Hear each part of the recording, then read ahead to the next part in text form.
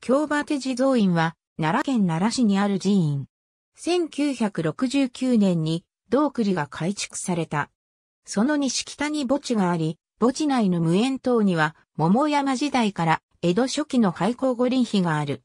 道の内陣番団には、本尊大日如来座像を中心に、地蔵菩薩立像、十一面観音立像、阿弥陀如来座像と弘法大師座像が安置されている。牧書の半額に、宝永三年観音図式神のことが記されているが、今この図紙は見つからない。本尊大座の天板に影国名があり、この像は、京馬手村、福寺の大日如来で、宝永三年の火災で台座が消失したため、同5年に再興されたとある。福寺は、福寺と示す資料もあり、南京馬手町に元あった福寺池のところに、福寺の後の石碑が立っている。北、京馬手阿弥陀三尊石仏元は、地蔵院の南西に辻堂があり、そこの本尊であった。享保9年、霊言新たかとの評判により参詣者が増えたため、一位を作り、京馬手阿弥陀と呼ばれるようになったという。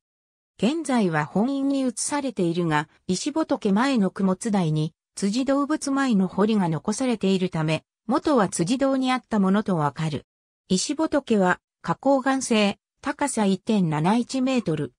下方に大きな連座を備え、その上に三尊を一石に厚肉掘りする珍しい形式で、様式上南北朝時代の作と推定される。中央は阿弥陀如来、向かって右が連台を捧げる観音菩薩、左は合唱した静止菩薩である。三尊とも単弁連下文の円形図工の彫りがある。